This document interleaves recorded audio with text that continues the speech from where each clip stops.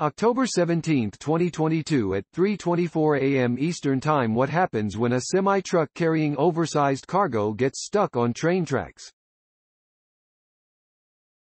Well, there are several different possible outcomes but in the case of this semi here, the worst of all scenarios happened. The truck got hit by a train. Fortunately, no one was hurt but it was surely a sight to behold.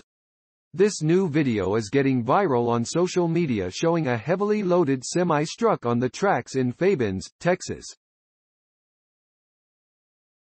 The accident occurred on October 9 when the truck pulling a lowboy trailer got stuck on the tracks for about 10 minutes.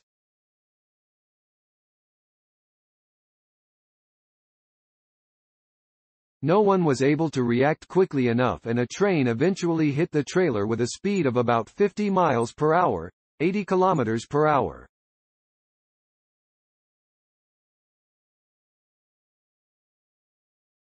The video above shows the moment when the train arrived with a few people waving at it trying to signal there was an obstacle ahead.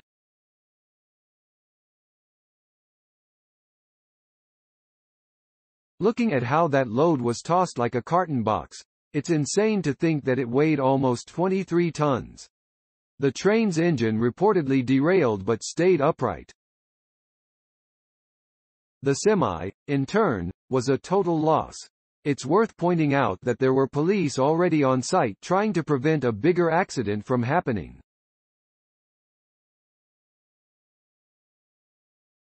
It was probably impossible to alert the train operators earlier and have them stop the train but at least the area around the intersection was free of people and other vehicles.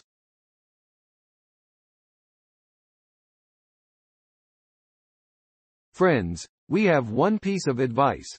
When there is an obstacle on the tracks and it's that big, plus a train approaching the intersection, you should better be standing much further away than the guy with the camera in this video did. We are grateful for the footage but in case of a derailment, things could have been way worse, possibly threatening his life. Source. Viral Hog on YouTube.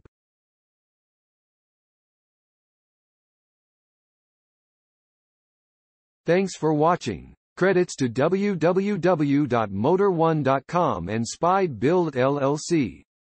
Please subscribe my channel for more auto updates.